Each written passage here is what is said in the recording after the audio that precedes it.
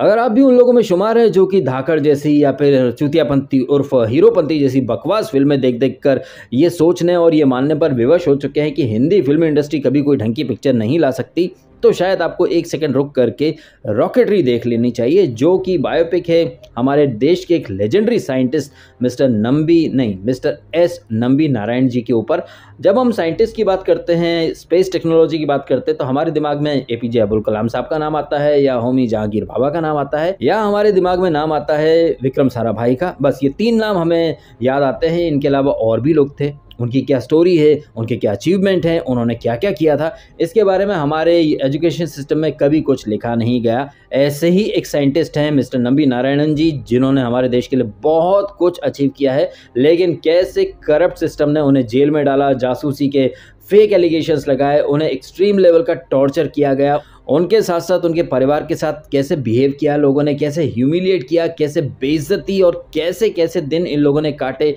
उनकी पत्नी जो शादी अटेंड करने जाती है, वहाँ कैसे उन्हें बेइज्जत करके निकाल दिया जाता है? उनके बेटे, बहू मतलब ऐसे ऐसे मोमेंट उन्होंने झेले, उनके परिवार ने झेले, उस गुनाह की उन्हें सज़ा मिली जो कि उन्होंने कभी किया ही नहीं था। ये सारी चीज़ें हम लोगों से छुपाई गई हैं और कैसे ये सारी चीज़ें हुई, ये देखने के लिए आपको रॉकेटरी ज़रूर देखनी चाहिए। जब आप ये फ़िल्म देखेंगे और फ़िल्म देखकर निकलेंगे, इसमें शाहरुख खान भी हैं जो कि बहुत अच्छी एक्टिंग करते हैं और जैसे हमारे देश में बहुत सारे करोड़ों लोगों को पता नहीं है, वैसे ही यहाँ पर जब ये फ़िल्म स्टार्ट होती है, शाहरुख खान की एंट्री होती है और जो कास्ट एंड क्रू मेंबर हैं, वो कोई जानते नहीं कि नंबी नारायण कौन है, सब एकदम टाइम पास वाले मोड में रहते हैं। लेकिन जैसे ही मिस्टर नारायणन अपनी कहानी सुनाना शुरू करते हैं और जब कहानी ख़त्म होती है वहाँ खड़ा एक एक इंसान इंक्लूडिंग शाहरुख खान, सबकी आँखों में आँसू आ जाते हैं, जो अन्याय हुआ है मिस्टर नंबी नारायणन के साथ, ये सब लोगों को विवश कर देता है रोने के लिए, माफ़ी मांगने के लिए। वो मिस्टर नंबी नारायणन, जो हमारे देश के अंदर लिक्विड फ्यूल टेक्नोलॉजी लेकर आए, जिसका इस्तेमाल करके पी एस एल और आगे चल के हमने चंद्रयान, मंगलयान,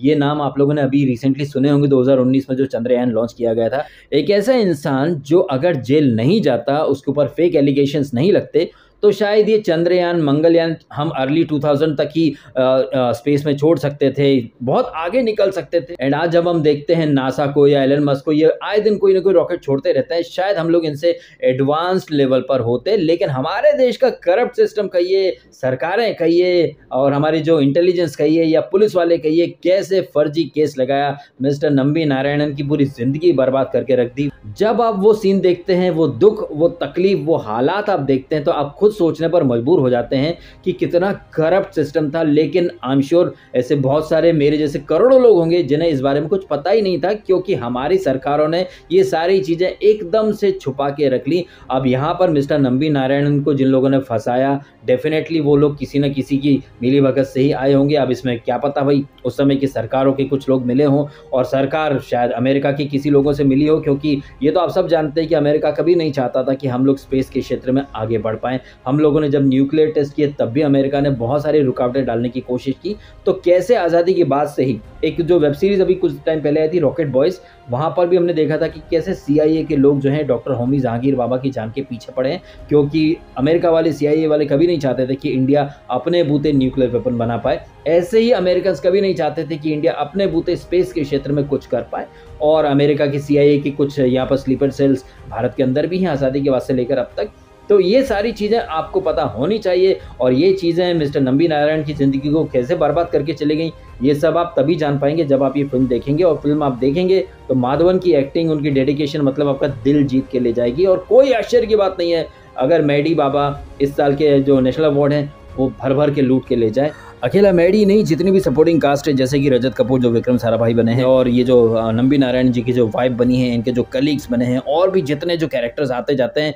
इनफैक्ट जो शाहरुख के आसपास जो मेकअप वाले या डबिंग वाले या साउंड वाले या जो टेक्निकल यही नहीं, वो पुलिस वाले या सीबीआई वाले या कोर्ट कचहरी वाले या वो मारिया रशीद और वो जो फ्रांस के लोग या फिर अलग अलग कंट्रीज़ के जो लोग दिखाए गए हैं नासा के जो लोग दिखाए गए, सब लोग काफ़ी बढ़िया तरीके से अपने अपने रोल अपने अपने किरदार के साथ जस्टिस करते हुए दिखाई देते हैं। एक सिंपल सा एक कोई पुलिस वाला अपनी खुन्नस निकालने के लिए कैसे केस रच देता है, फिर उसे जासूसी का नाम दे देता है कैसे मालदीव से कहानी एकदम पाकिस्तान को आपने कुछ सीक्रेट बता दिए फिर कैसे नंबी नारायण जी को उठा लिया जाता है, इसरो भी उनकी मदद करने से मना कर देता है। कैसे तिल का ताड़ बनाकर सिस्टम किसी का करियर बर्बाद कर देता है, ये इस फ़िल्म में बहुत खूबसूरती के साथ दिखाया गया है। सो अगर आपने ये फ़िल्म देख ली है तो ज़रूर कमेंट करके बताइएगा आपकी भी फीलिंग्स और नहीं देखी है तो आप पहली फुर्सत में देखिएगा ज़रूर। I will personally recommend this film आप जाइए, आपका पैसा वेस्ट नहीं होगा। आपको बहुत कुछ देखने को और सीखने को ज़रूर मिलेगा। इस उम्मीद के साथ कि इस फ़िल्म को आप बहुत ज़्यादा सपोर्ट करेंगे। वीडियो में ख़त्म कर देता हूँ। आपने समय निकाला, वीडियो देखा, आपका बहुत बहुत धन्यवाद।